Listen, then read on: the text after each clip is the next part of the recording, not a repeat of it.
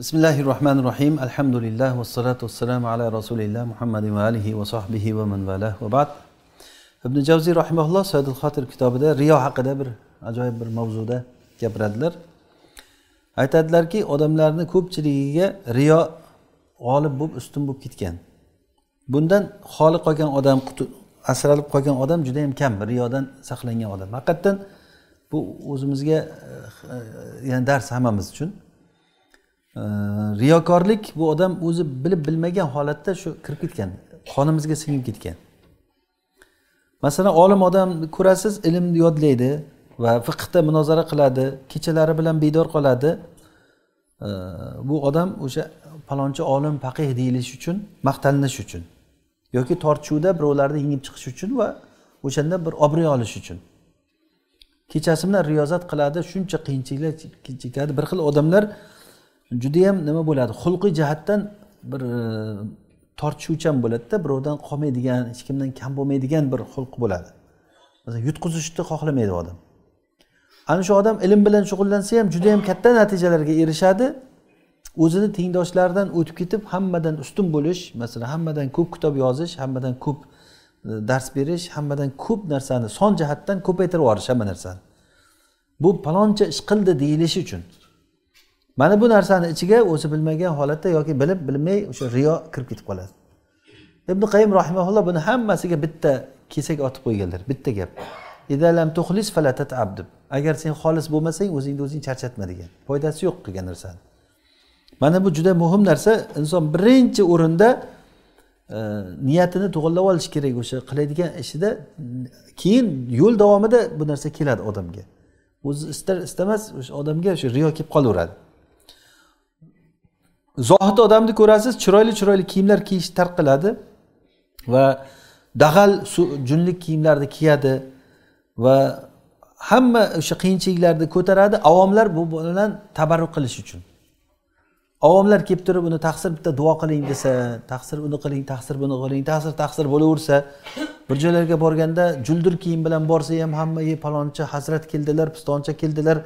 Deb to'rga o'tkazsa duo bolalarni olib keling duo qilib bering og'ziga tuflab bering xurmo solib bering. Ichgan sari ichib ketaveradida odam. Bu nima uchun o'sha eski kiyim agar meni shu holatga olib kelgan bo'lsa bir umr eski kiyib o'tay. Juldur kiyinaman hamma o'sha holatimda qancha qiyinchilik bo'lsa chidayman. Lekin bu yoqdagi kayf uchun. U odamlarni bunday buni atrofida girdi kapalak bo'lishini kayfi bu hattoki davlat rahbarlariga ham bunchalik darajada kayf bo'lmaydi. Ya'ni davlat rahbarlarini ham qilayotgan odamlar muhabbat bilan bu darajada ixloslik bilan qilmaydi. Lekin bu odamlarga qilinadigan ishlar bunga qizlar tuyalar so'yiladi borgan joyida. Shunaqangi zohidga endi taqsir shayximiz endi shunaqa zohidki endi ozginagina ovqat yeydi. Kiyimlari o'sha necha yilgi kiyimini haliyam o'sha ustida ko'raman o'sha kiyimni kiyib yuradi deyiladida. Lekin bu taqsirni oldida buyog'i mana shunaqa bo'lib yotibdi. Butun martaba mansab o'shani qilmasinchi shu taqsir bu oddiy odam bo'lsinda nomini o'chirsin ketsin ketolmaydi ketmaydi ham hech yerga ketmaydi ham. Bu hurmatga yetib olguncha o'zi ozgina mehnat qilindimi? Bularni jumhurlarni amallari ya'ni ko'pchilik amallar qarasangiz riyo. Agar bittasi sadaqa qilsa odamlarga uni ko'rish uchun qiladi. Falonchi nima qildi? Albatta nomini yozdirib yo masjid qurdirsa otini yozdirib bir marmar toshga o'yib falonchi hoji pistovonchi hojini bolasi hoji shu qildi shuni deb yozdirish uchun. O'z o'zidan riyo kelaveradi. Agar odamlar hech kim ko'rmay qolsa odamlar bilmay qolsa bir kambag'alga minnat qiladi. Minnat qilib o'zini o'zi tanishtiradi. Yoki o'zi gapiradi. O'zi gapiradi. Bir narsalarni narxini so'raydi. Hech yo'qdan. Nechi pul ekan hozir shu narsa? Ha bilmadim. Nima edi desa menda bor edi palonchaga berib yubordimda shuni shuni so'rayotgandim. Nimagadir shu bergim kelaveradi bu narsa. Qarasam turgan ekan. Endi savob ham kerakku to'g'rimi odamga deb qo'yadida keyin yana? Shu aytmasa ham bo'laydiku. Berib yuboribdi bo'ldi endi. Berib hamma narsa bo'ldi. Siz bilganingiz yo'q edi. Endi bildirdi sizga o'shani. Bildirmasa bo'ladi. O'z o'zidan o'sha ichidan shayton keladiki maqtan maqtan gapir. Gapir gapir deb shayton kelib o'sha g'ulg'ula qilaveradi. Namoz o'qisa yo bir ishni qilsa yana o'sha gap. Bittasi judayam ixlos bilan namoz o'qib turganda buyoqdagilar qarab turib judayam chiroyli namoz o'qir ekan deb rosa gapirgandan keyin salom otib bola solib ro'zaman ham degan ekanda ham ro'zaman buni ustiga deb tarovehni imomlarini ko'rsangiz endi tarovehga imom o'tgan odamlar qorilar shoz oyatlarni o'qiydi. Shoz oyatlarni o'qiydi bitta lafzni bir necha marta takrorlayveradi. Endi u odamlar masalan malik malik o'shani bir malik deb o'qisa bir malik deb o'qiydi. Bu boshqa qiroatlarda ham bilishini bildirib qo'yadi. O'zi hozir o'tir o'ttiz porani o'sha hamma ashira qiroatda o'qib bersa o'qib bermaydi o'zi. O'sha qayergadir tayinlanib keladida bir joydan va duha va duhi deb bir e, o'qib beradi odamlarni ichidada. Bildirib qo'yish uchunki men mana shunaqa qiroat sohibiman. Degan ma'noda. Mana bu narsa ham o'z o'zidan bir riyo keladi. Bu bitta lafzni qur'onni lafzini hadeb takrorlayverish bu qur'onni nazmidan chiqaraveradi bu noto'g'ri deyaptilar. O'qisa bitta qiroatda o'qisin mayli. Lekin e, vaqolat haytalak vaqolat hitulak vaqolat hitalak yana aylantirib tushib o'qiveradiku bir qorilarda nisi bor o'qish shunaqa. Hali yusuf surasidagi nimasida? Yana men qiziq ko'rgan narsalarimdan biri deydilar ayollarni holatidan. Agar birorta mayit o'lib qolsa issiq paytda o'sha sathga chiqib oladi. Ya'ni odamlar uxlagandan keyin. Va odamlar uyg'onishdan oldin tushib oladi. Endi aytmaslik uchunki odamlar gapirmasin palonchi sathda uxlayapti ekan deb. Ya'ni bu sathda uxlab bir rohat qilibdi ekan sathda shamol bo'ladiku endi. O'shanday bir e, haligi rohat ko'ribdi demaslik uchun hech kimga ko'rsatmay chiqib damini oladida yana chiqib endi bu narsani bizda qo'yib bir ayollardan yolg'ondan yig'lashlari borku. Hi deb bir biri bilan yo'liqib qolgan paytda aytib yig'laydi. Palonchalar bo'lmasmidi pismonchilar bo'lmasmidi deb yonidagi bilan gaplashib ham qo'yadi bu narsa bu narsalar deb. Yana bir yangi odam keldi desa yana i deb baqiradi yana. Juda qiziqarli narsa. O'sha riyoni bir qiziq ko'rinishi mana shulardada ya'ni qattiqroq xudolar keldi qattiqroq qattiqroq deb turibdi bu yoqdan. Ballaring nechtaligini bildirib ketding tog'alaring nechtaligini bildirib ketding deb piching ham otadi. Ya'ni tog'alari o'sha tirikligida kelmay o'ligida kelgan ekan tog'alaring nechtaligini bildirding deb yig'laymish bittasi baqirib. Ya'ni o'lgandan keyin tog'alar kelib qoldi degan shuncha paytdan beri yo'q tog'alar o'likka kelgan. Bu narsalar riyo holati erkakda ham ayolda ham juda ommaviylashib ketgan hamma ishda. Bundan qutulgan odam juda kam. Ya'ni bu kamayib ko'payib turadi lekin qutulgan odam kam. Iftor qiladimi masalan odamlar nima deydi? To'ylarimiz. Masalan bizga qo'yib bersinda bu narsalarni. Zaks qiladi zaksga o'ziniku bechorani bir uyida hammomi yo'qda o'shani. Qishloqni bolasi o'zi rossiyada ishlaydimi boshqa bo'ladimi? Peshona terisi bilan pul topib kelyapti. Bitta to'yga yigirmata moshin qilish kerak yigirmasi bir xil bo'lishi kerak hammasi. Qora yoki oq hammasi bir xil bo'lishi kerak.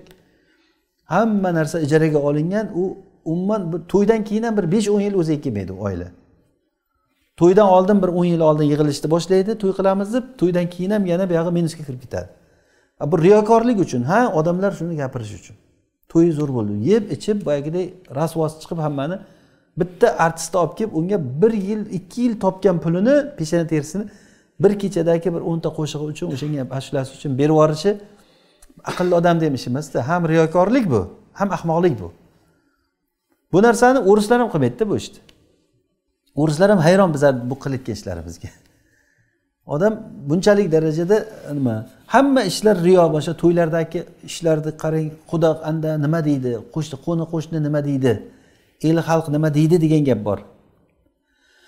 Olloh tavfiq bergan odam bilishi kerakki riyo xuddi shirkka o'xshagan narsa. Inson qalbida olloh bilan yonida kimdir qo'shilgan bo'ladi amalingizga alloh taoloni mana bu gapini tushunsin. Nas odamlarga riyo qiladi bu odamlar deb. Ular riyo qiladi amallarini deb maun surasida alladinahum yuroun deb kelgan. Va riyoni yomonlash haqidagi aytilgan hadislarni o'ylab ko'rsin. Bular juda yam ko'p hadislar nabiy sallallohu alayhi vasallam aytadilar yaqulullohu taala man amila li amalan ashraka fihi g'ayri fa ana bariun minhu. Kim bir amalni qilib shu amalda menga birovni sherik qilsa men undan bezorman dedi. Kerak emas menga u amali degan. Ba'zi salaflar aytar ekan shirkni sir sir holatlaridan sizlar saqlaninglar. Ya'ni u nima? deganda o'zi aytib beryapti. Namoz o'qiysanda odamlarni ko'zini kuzatasan qanday bo'lyapti ekan? deb. Sajdani uzun qilasan odamlar qarab o'tiribdi deb. Agar odamlar bo'lmasa bunaqa sajda qilmaysan. Agar odamlar bo'lsa o'sha odamlarni nimasi ko'zi uchun sajda qilasan. Ovozlarda masalan odamlar uchun ovozni chiroyli qilish odamlar uchun namozni uzun o'qish. Bunday o'ylab qarasa juda ko'p narsa odamni amaliga kirib ketib qolganini ko'rasiz. Umuman olganda riyo xalq ko'rsin deb qilgan xo'jam ko'rsin degan narsa xo'jam eshitsin degan narsa riyo bo'ladi. Bizda xo'jam ko'rsinchilik degan narsa bor.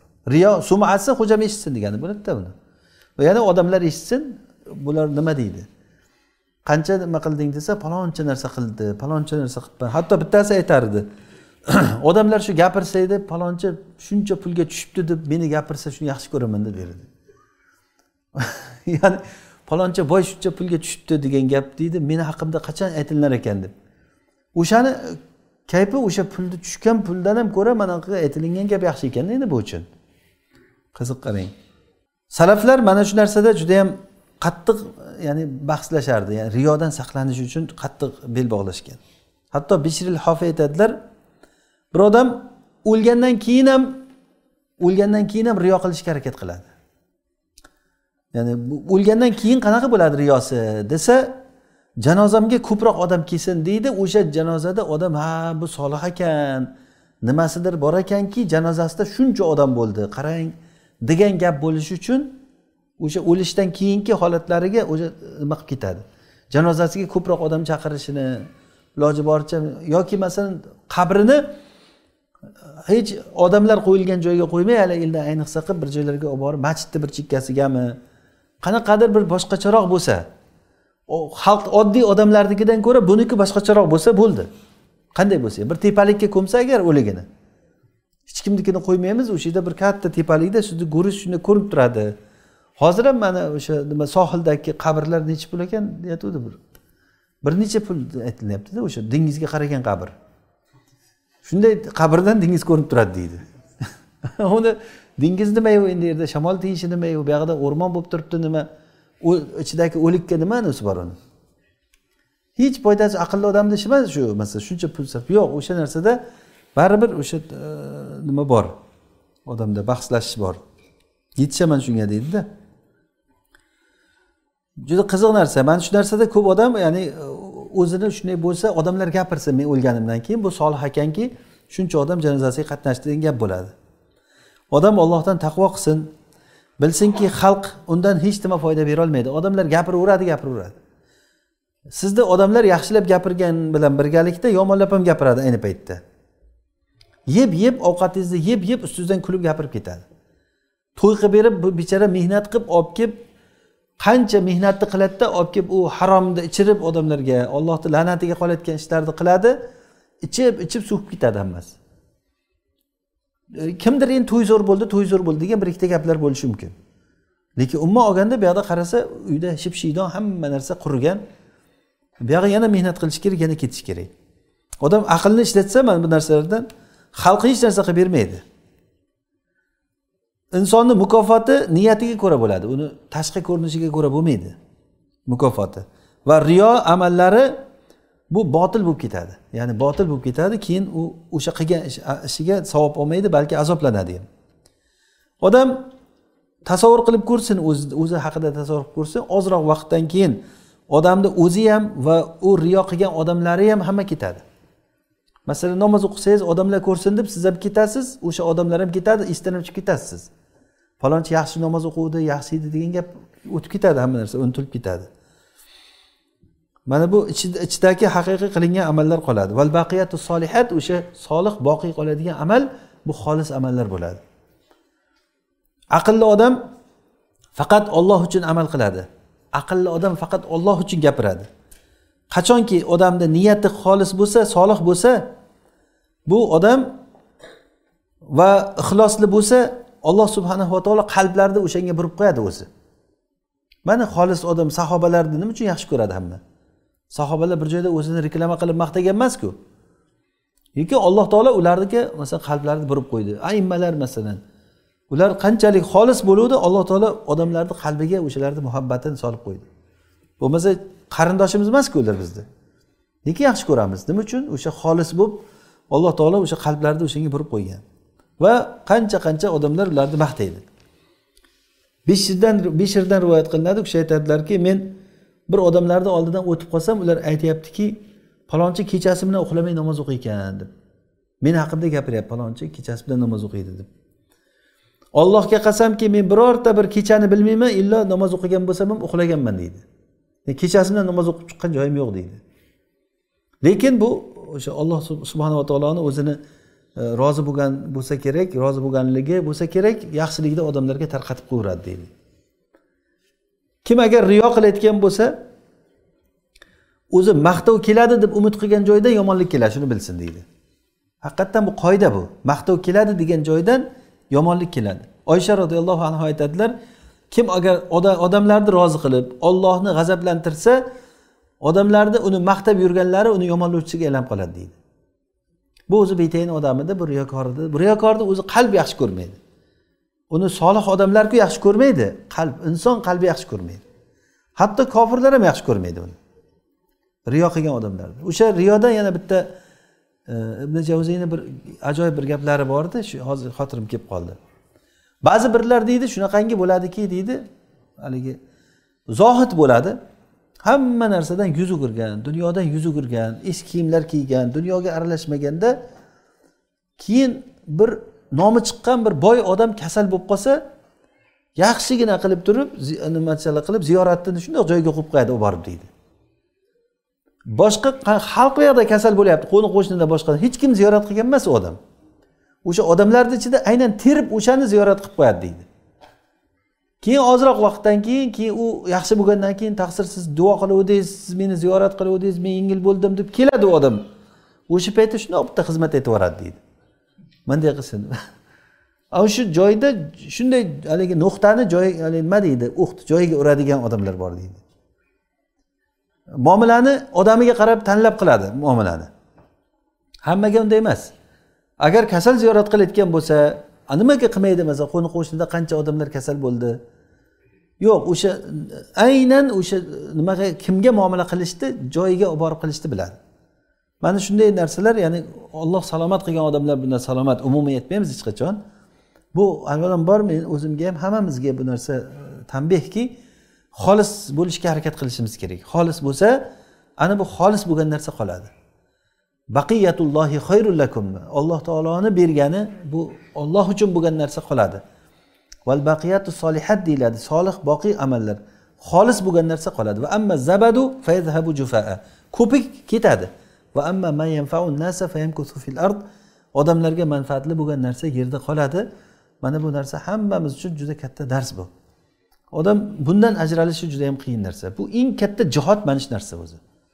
Bu haligi qurol ko'tarib jihod qilishdan ham ko'ra qiyin jihod mana shu o'sha qurol ko'tarib jihod qilganda ham u falonchi jasoratli desin degan narsa uni nimasida turadi. Yoki o'lib kuni bilan masalan bir riyozat qiladida manaqa chiqib gapiradi buncha riyozat qildim deb qanchadir maqtanilishi uchun o'sha shuncha qiyinchilikni boshidan o'tkazadi odam. Bu maqtaldi ham u ha mashaalloh o zo'r ekan deyishi mumkin bu yoqdagilar nima oldi endi shu bilan? Bo'ldi shu bilan unutilib ketaveradi. Bu yoqda soatlab vaqtingizni o'tkazganingiz ketdi. O'shani o'rniga masalan bir foydali ish qilsa bo'lardi masalan odam. Hamma narsa o'sha aytilish uchun innahu kaza. Bu palonday qori deyilishi uchun olim deyilishi uchun bu jasoratli odam deyilishi uchun yengib qo'ydi gapida deyilishi uchun ana bu narsa odamni borgan sari shundoq badqoqqa kirgizib ketaveradi. Odamlar maqtagan odamlar sizni yomonlab ham ketaveradi u maqtaganligi bir tiyin foydasi yo'q sizga. Bugun maqtasa ertaga yomonlab ketaveradi odamlar. Bugun sizni yomonlagan odamlar ertaga maqtab ham qolaveradi. Shuning uchun odam odamlar nima deykan degan narsani chiqarib tashlab robbim nima der ekan? Robbim nima deyapti hozir menga? Mana shuni to'g'irlab olsa hamma narsa joyiga kelar ekan. Allohu alam va sallallohu alayhi vasallam muhammad va alihi va ajmain valhamdulillahi robbil alamin